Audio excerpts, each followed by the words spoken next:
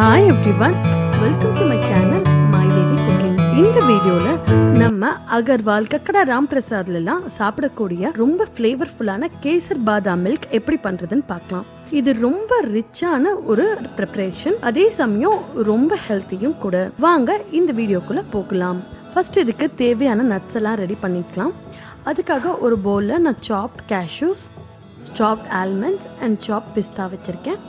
அது கூட இப்போ நம்ம அரைக்க வேண்டிய சாமான் பார்த்துடலாம் ஒரு கப் சர்க்கரை. ஒரு பத்துலேருந்து பதினஞ்சு ஏலக்காய்.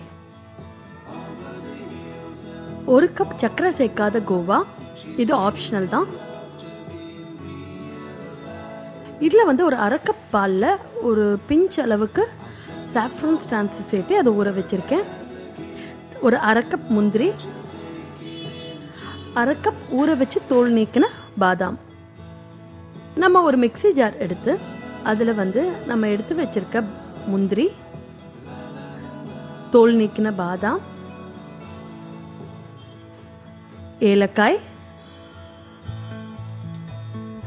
சர்க்கரை இது எல்லாத்தையும் சேர்த்து மிக்சியில் ஒரு மூணுலேருந்து நாலு பல்ஸ் பண்ணி இந்த மாதிரி கொரக்கரன்னு அரைச்சிக்கிறோம்.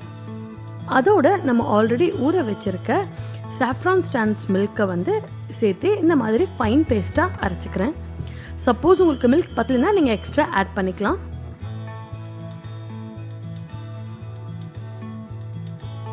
அந்த ஸ்மூத் பேஸ்ட் கூடயே நம்ம எடுத்து வச்சிருக்க கோவாவையும் சேர்த்திக்கிறோம். கோவா ஆப்ஷனல் தான். உங்களுக்கு கோவா போட்டிங்கன்னா மில்க்கை வந்து சீக்கிரம் திக்கனை பண்ணிடலாம். உங்ககிட்ட கோவா இல்லைன்னா பிரச்சனை இல்லை. இன்னொரு ஹாஃப் அன் ஹவர் வந்து மில்க்கை நீங்கள் ரெடியூஸ் பண்ணிவிட்டு அதுக்கப்புறம் இந்த பேஸ்ட் ஆட் பண்ணிங்கன்னா கரெக்டாக இருக்கும். இப்போ பாருங்கள் நான் ஒரு ரெண்டு லிட்டர் பாலை வந்து ஆல்ரெடி காய்ச்சி வச்சுருக்கேன். திருப்பி ஸ்டவ் ஆஃப் பண்ணிவிட்டு நம்ம அரைச்சி வச்சுருக்க அந்த பேஸ்ட்டை வந்து இந்த பாலோட நல்லா மிக்ஸ் பண்ணிவிட்டு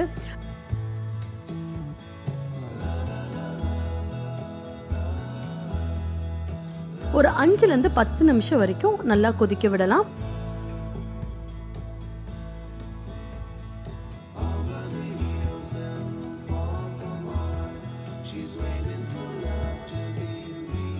சப்போஸ் உங்களுக்கு சாஃப்ரான் ஸ்டாண்டோட கலர் பத்தலை அப்படின்னா நீங்கள் கொஞ்சமாக வந்து எல்லோ ஃபுட் கலர் இல்லைன்னா நீங்கள் ஃபுட் கலர் யூஸ் பண்ண வேண்டாம்னு நினச்சிங்கன்னா ஒரு பிஞ்ச் அளவுக்கு மஞ்சத்தூளும் சேர்த்திக்கலாம். அது ரொம்ப ஹெல்த்தி நான் இங்கே உங்களுக்கு காமிக்கிறதுக்காக ரெண்டையுமே சேர்த்திருக்கேன்.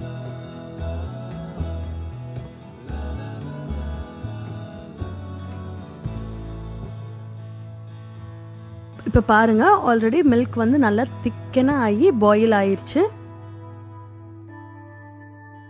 ஸோ இந்த டைமில் நம்ம ஸ்டவ் ஆஃப் பண்ணிவிட்டு நம்ம ஆல்ரெடி சாப் பண்ணி எடுத்து வச்சிருக்க பாதாம்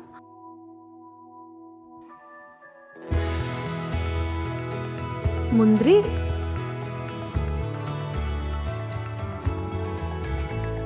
அப்புறம் பிஸ்தா.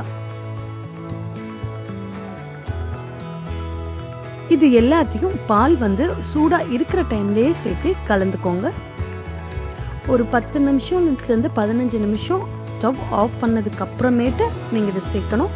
பத்து பதினஞ்சு நிமிஷத்துக்கு அப்புறம் நீங்கள் ஃப்ரிட்ஜில் வச்சு நல்லா கூல் பண்ணிவிட்டு சில்லாக சர்வ் பண்ணிங்கன்னா நீங்கள் ரொம்ப ஈஸியான பட் ரொம்ப காஸ்ட்லியான ப்ரிப்ரேஷன் ரெடி ஆகிடும் நம்ம கடையில் எயிட்டி ருபீஸ் நைன்ட்டி ருபீஸ்னு ஒரு கிளாஸ் வாங்குவோம். பட் நம்ம இதுக்கு மொத்தமாகவே hundred rupees hundred and fifteen ருபீஸில் செஞ்சிடலாம். நம்ம ஒரு பத்து கிளாஸ் மேலேயே நான் சொன்ன அளவு வரும். கண்டிப்பாக நீங்களும் உங்கள் வீட்டில் இந்த ப்ரிப்ரேஷன் பண்ணி பாருங்கள் இந்த ஃபெஸ்டிவ் சீசனுக்கு என்ஜாய் பண்ணுங்கள் மறக்காமல் என்னோட சேனலுக்கு சப்ஸ்கிரைப் பண்ணுங்கள் பக்கத்தில் இருக்க நோட்டிஃபிகேஷன் பெல் பட்டனையும் கிளிக் பண்ணுங்கள் அப்போ தான் ஒவ்வொரு தடவையும் நான் ஒரு வீடியோ போடுறப்போ உங்களுக்கு நோட்டிஃபை ஆகும். நன்றி. மீண்டும் ஒரு சுவையான வீடியோவில் உங்களை சந்திக்கிறேன்.